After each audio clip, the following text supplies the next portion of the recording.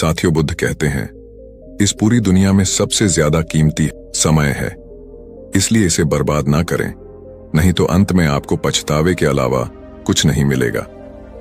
धन कमाने के उपाय। आइए जानते हैं दोस्तों, पैसा कमाने के लिए ज़्यादातर मामलों में यह देखा जाता है कि लोगों को पैसा कमाने का तरीका ही पता नहीं होता है, जिनसे वह जीवन में कभी भी सफल नहीं हो पाते हैं, धनवान नहीं बन पाते हैं। धनवान बनने के लिए पैसा कमाने के भी कुछ नियम होते हैं, जिसका पालन करना ज़रूरी होता है। जीवन में ज़्यादा धनवान बनने के लिए धन को जमा करना और उसे काम पर लगाना आना भी ज़रूरी होता है। तभी आप एक धनवान व्यक्ति बन सकते हैं। आइए जानते हैं, पैसा कमाने के सात तरीके, जो आपको ज़्यादा से ज़्यादा पैसा कमाने में आपकी मदद कर सकते हैं। पैसे कमाने का तरीका जानने से पहले यह जानना ज़रूरी है कि पैसे को किस प्रकार से कमाया जा सके। धनवान बनने के लिए पैसों का होना बहुत ज़रूरी होता है, और पैसा कमाने के लिए पैसा कमाने का तरीका जानना भी बहुत ज़रूरी होता है। तो आइए जानते हैं, पैसा कमाने के वो सात तरीके, जिससे हम यह जानेंगे कि जल्दी पैसा कैसे कमाए दोस्तों। पैसा कमाने का पहला जो नियम है, वो यह है कि ज़्यादा पैसा कमाने पर ध्यान दें।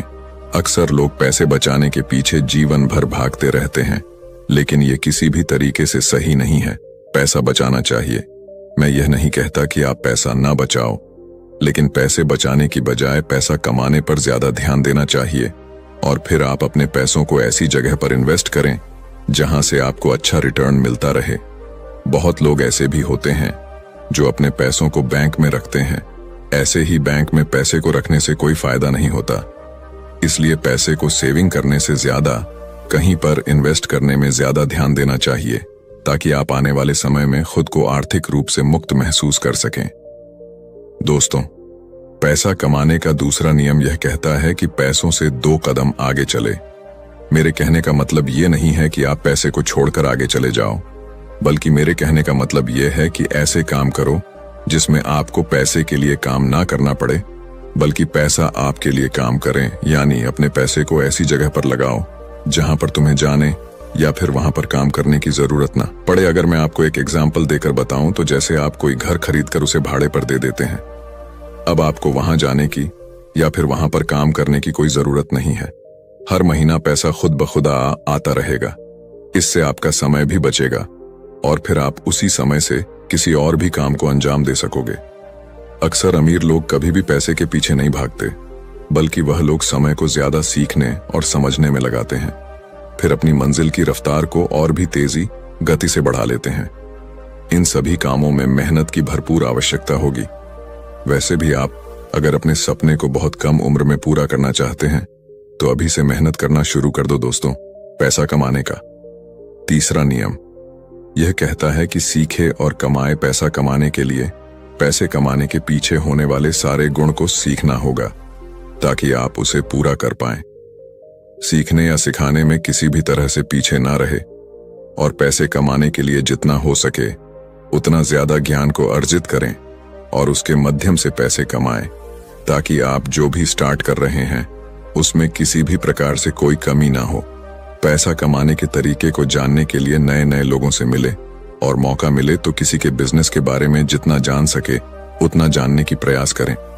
दोस्तों पैसा कमाने का चौथा नियम यह है कि शुरुआत आज और अभी से ही कर दो। अगर जीवन में अमीर बनना है तो पैसे कमाने का तरीका यह भी है, किसी भी स्टार्टअप को शुरू करने में। आगे की दिनों पर ना डालकर उसकी शुरुआत जितनी जल्दी हो सके, उतनी ही जल्दी कर दें, क्योंकि इस दुनिया में सिर्फ़ आप ही नहीं रहते हो। ऐसे ख्याल सबको आते हैं, कल के चक्कर में कहीं आप पीछे ना रह जाओ। तो इसीलिए आज और अभी से ही लग जाए। अपने काम पर ऐसा करने से आप आने वाले दिनों में ज़रूर आर्थिक रूप से मज़बूत बन जाएँगे। अमीर बनने का पांचवा नियम यह है कि पैसों का हिसाब किताब रखें। अगर जीवन में असफल होना है तो आप अभी अपने जीवन में जो कुछ भी है, उससे कोई फ़र्क नहीं पड़ता। लेकिन एक आदत ज़रूर बनाए रखें। वह आदत यह है कि पैसों का हिसाब किताब रखना।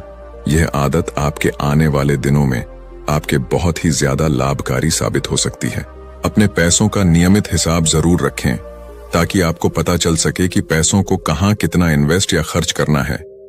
साथ ही पैसों को खर्च करते वक्त भी उसका हिसाब बनाना बहुत ज़रूरी होता है। कई सारे लोग यहीं पर गलती करते हैं। वह लोग सारे हिसाब किताब तो रखते हैं, लेकिन खर्चे का हिसाब किताब नहीं रखा करते, जिससे उन्हें आने वाले समय में काफ़ी नुकसान देखने को मिलता है। अमीर बनने का छठा नियम यह है कि फिजोल के खर्च से बचो। कई लोग ऐसे होते हैं जो अपने पैसों का अस्सी प्रतिशत खर्च अपनी शौक और घूमने फिरने में खर्च कर देते हैं, जो कि बहुत ही गलत है। यह आदत आपको कभी भी अमीर बनने नहीं देगी। फिजोल खर्च करने के बजाय अपने पैसों को ऐसी जगह खर्च करो, जहाँ आपको ज़रूरत हो। किसी महँगे होटल में जाकर खाना खाने की बजाय पहले यह देख लो कि अपने करियर के लिए कुछ ज़रूरी चीज़ों की आवश्यकता तो नहीं है अगर है तो पहले अपनी ज़रूरत की चीज़ों को ही खरीदो। स्टार्टअप में उपयोग होने वाले सहायक चीज़ों को खरीदने में ज़्यादा ध्यान दो पैसा कमाने का। आखिरी और सातवां तरीका यह है कि धैर्य और संयम बनाए रखें। आपने पैसा कमाने का तरीका तो जान चुके हैं, लेकिन इससे कब और कैसे कमाना है, यह भी जानना बेहद ज़रूरी है। किसी भी चीज़ को स्टार्ट करते ही आपको पैसा नहीं मिलने वाला हो सकता है।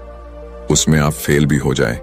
या तो यहाँ नौकरी करना ही बेहतर होगा और अमीर बनने के सपने को भूलना होगा, क्योंकि ज़िंदगी भर नौकरी करने से कोई अमीर नहीं बन सकता।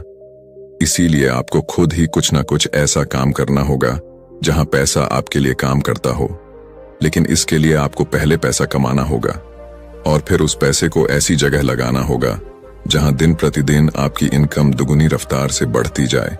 तो दोस्तों, आज आपने जाना पैसा कमाने के साथ नियमों के बारे में यानी कि पैसा कमाने के तरीके, जिसमें पैसा कमाने के कुछ नियम आपको बताए गए हैं, कि पैसे को कैसे कमाया जाता है और अमीर कैसे बनते हैं।